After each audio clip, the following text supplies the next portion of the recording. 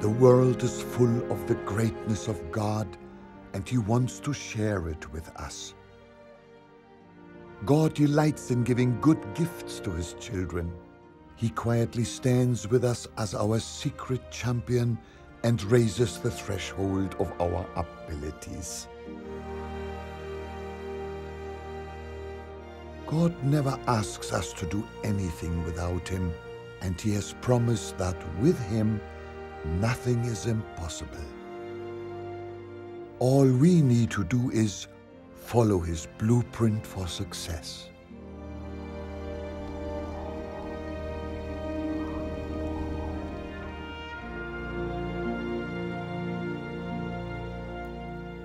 God does not need great people for great tasks. He only wants obedient people. He gives us the great tasks, and the tasks make us great. God makes his servants equal to the task. God has a job for all of us to do, and if we obey, we succeed. Failure is not on God's agenda. Praise God. We must believe in success and believe for success. Mm, amen.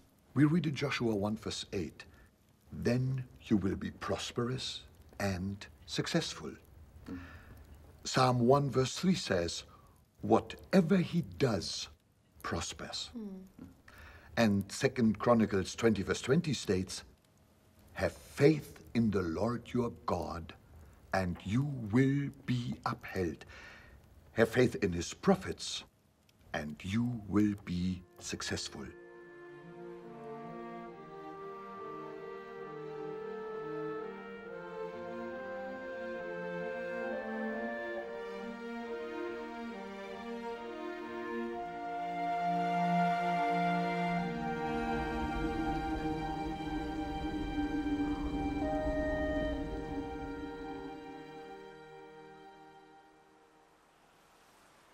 Claim God's promises. Mm. We have the same promises as the apostles. Yes. If we live like the apostles, we inherit the tools that go with the job. Mm. What Jesus promised, he fulfills. Mm. Let me summarize this for you. If you do what the apostles did, you will get what the apostles got. You can claim it. Fair shares for all. Praise God.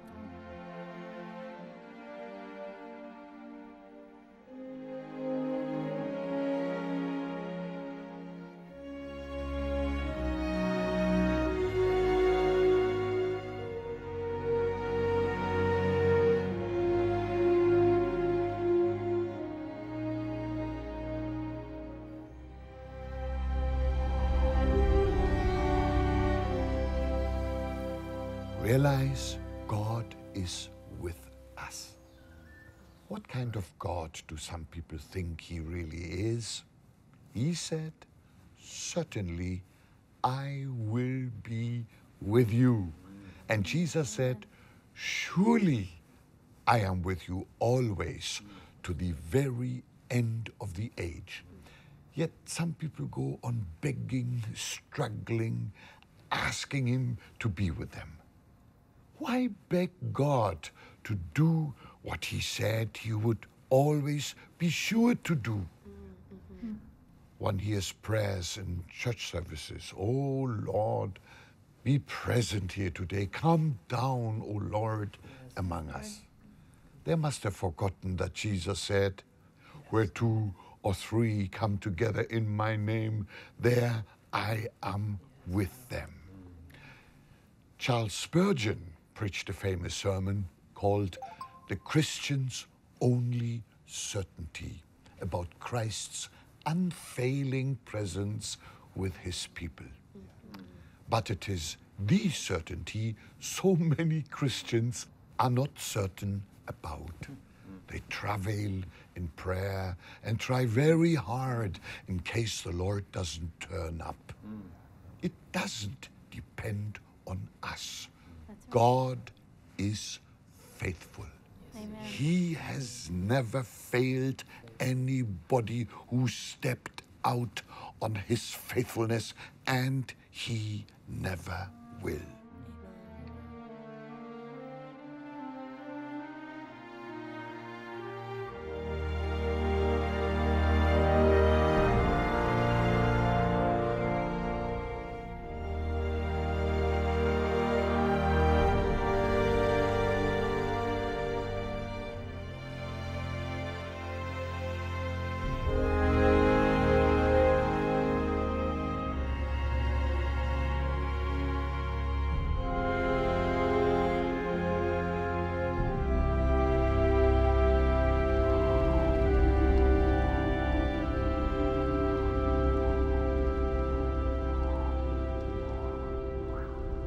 New Testament puts a premium on boldness. Proverbs shows us that boldness is a quality of righteousness. The righteous are as bold as a lion. The solution to fear is not bravery, it is faith in God. Jesus goes right to the heart of the matter in four words Fear not, only believe. The Bible word is phobia. Don't have phobia, have faith. That is why we have Revelation 21 8, which talks about the cowardly, the unbelieving. Their place will be in the fiery lake of burning sulfur. Unbelief and cowardice go hand in hand. The psalmist knew that. The secret was to trust in God. He said, Whenever I am afraid, I will trust in you. Daniel had some very frightening experiences, but he said, The people that do know their God shall be strong and do exploits. Or, as some version puts it, they fight back. Be bold, be strong, for the Lord your God is with you.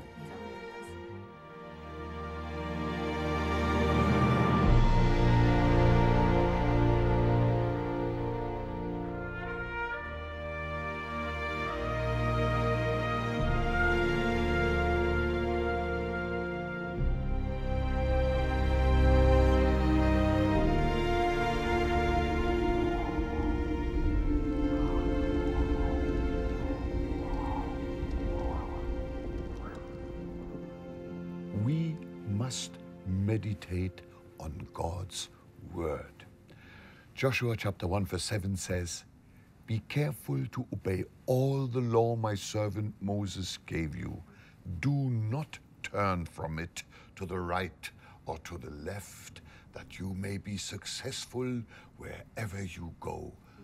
Do not let this book of the law depart out of your mouth. Meditate on it day and night, so that you may be careful to do everything written in it.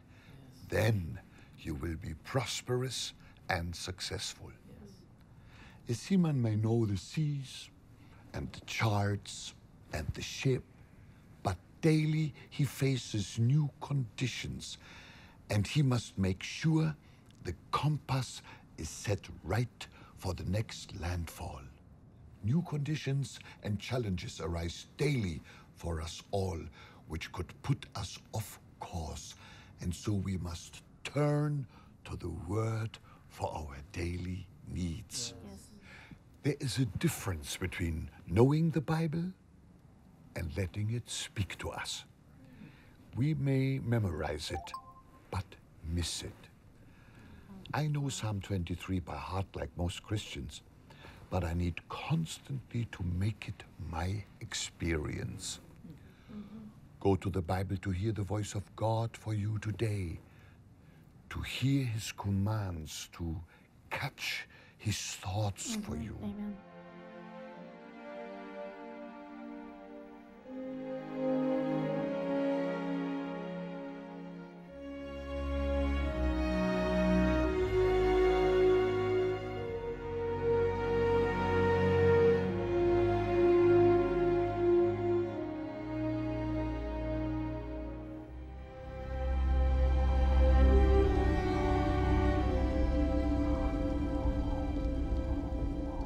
Churches that will act will grow. Churches that simply sit hmm. looking at one another and dreaming, waiting for some special day, a revival day, praying for a different hmm. day, will eventually just die of old age. People that have done things to change the world did them when nobody thought it was the right time. They should have waited for better conditions, but they acted and changed the conditions. Uh-huh. That is how revival starts. Somebody thinks they have prayed and waited long enough and gets on with the job Right. of preaching the mm-hmm. gospel. Wow. Today is the day of salvation. Tomorrow is not ours. Today is the day. Right. Yes, it is.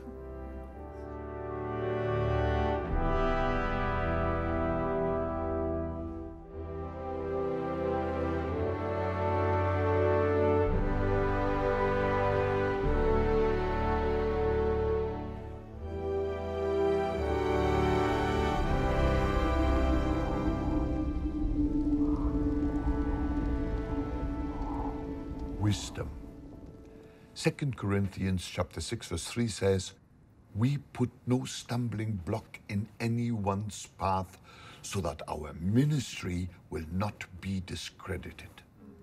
Stumbling blocks are not always grave sins in Christians and preachers, but they are anything that puts people off.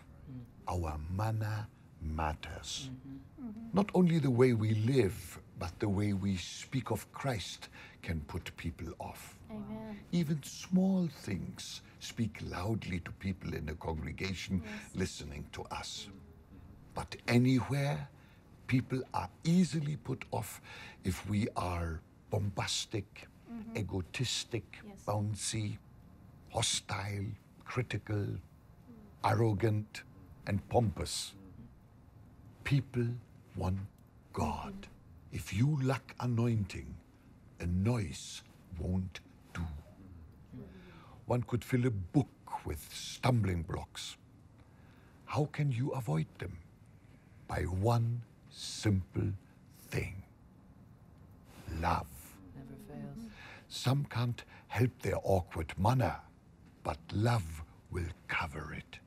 Genuine love that is not just a mask.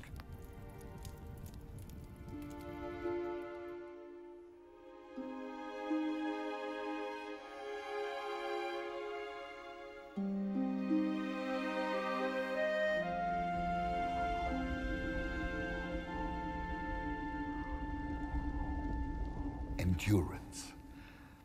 2 Corinthians 6, verses 4 to 5 says, As servants of God, we commend ourselves in every way, in great endurance, in troubles, hardships, and distresses, in beatings, imprisonments, and riots, in hard work, sleepless nights, and hunger. Paul wants to commend himself. He doesn't do it by boasting of his great miracles and scholarship, but by enduring hardship. That glorifies the Lord who gives Paul the strength to endure what is not endurable. Worn out, he was renewed. At the end of himself, he was at the beginning of God's resources. However, he doesn't mean just endure, which is passive, but persevere, which is active. refuse to be daunted. In Acts 20, verse 23, Paul said, I know that in every city the Holy Spirit warns me that prison and hardship are facing me, but none of these things move me. The plowman who looks back plows a crooked furrow.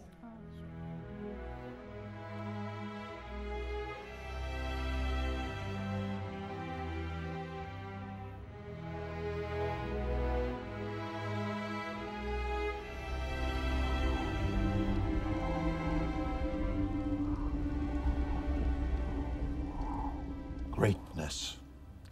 2 Corinthians chapter 6 verses 8 to 10 states, through glory and dishonor, bad report and good report, genuine yet regarded as impostors, known yet regarded as unknown, dying and yet we live on, beaten and yet not killed, sorrowful yet always rejoicing, poor yet making many rich, having nothing and yet possessing everything. That is what you can expect if you serve Christ. True greatness. The world sees believers upside down, opposite to what they really are.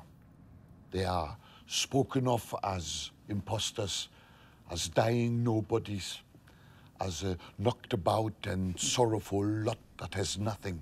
Mm. In fact, these people live to expose the lie to these reports. Mm-hmm. Amen. No matter what is said about them, these Christians show the real truth by carrying on quietly and humbly. Mm-hmm. God mm-hmm. defends them. Greatness, as the world knows, is false. The world makes gods with feet of clay. Unworthy people are put on pedestals, applauded, admired, loaded with riches. But God is raising up a new breed. Yes. Right. The world Amen. does not recognize them. They may not even recognize themselves, but the greatness of God lies Yes. within them.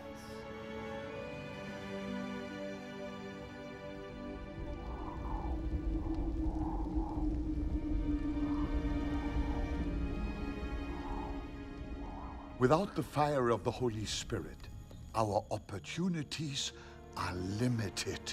We absolutely need that flame from above. Just think of it. Easter had happened. Jesus left the grave. What a mighty happening and glorious occasion. Yet, after the resurrection, the disciples still quarreled with each other and they doubted. But after the day of Pentecost, after they had received that flame from above, it seems to me all quarrels and doubts were burned out.